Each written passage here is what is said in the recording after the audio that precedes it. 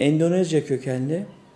Endonezya'nın Java adası'nın Kedu bölgesinde yetişir. Kedu, Ayyam Cemani e, kara tavuk demek Keduca. Bu da gördüğünüz gibi ibiği, derisi, ayakları siyah olan bir tavuk çeşidi.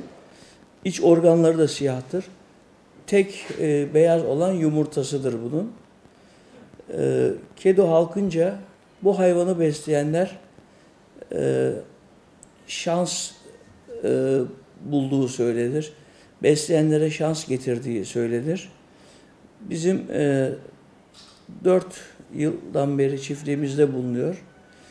E, yapı itibariyle e, sülünü andırırlar. Hareketli, gayet aktif hayvanlardır.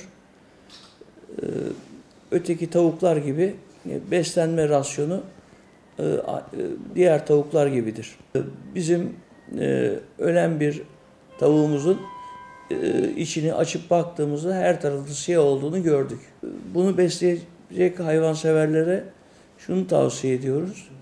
Irk özelliklerini iyi tanısınlar. Siyah rengin tonlarını bütün vücuda yayılması gerekir. Bir özelliği de ağız rengi, ağız gaga içi de siyah olması e, gerekir. Beyaz gagalar e, standart dışı e, bir renktir.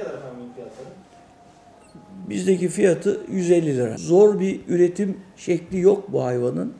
Normal dişi erkek yan yana koyduğunuz zaman normal tavuk gibi e, üretebilirsiniz bu hayvanı. Dikkat edeceğiniz nokta çok rahatsız edilmemesini isterler. Kümeslere girdiğiniz zaman hareketli oldukları için yerden yükseğe sıçrayabilirler.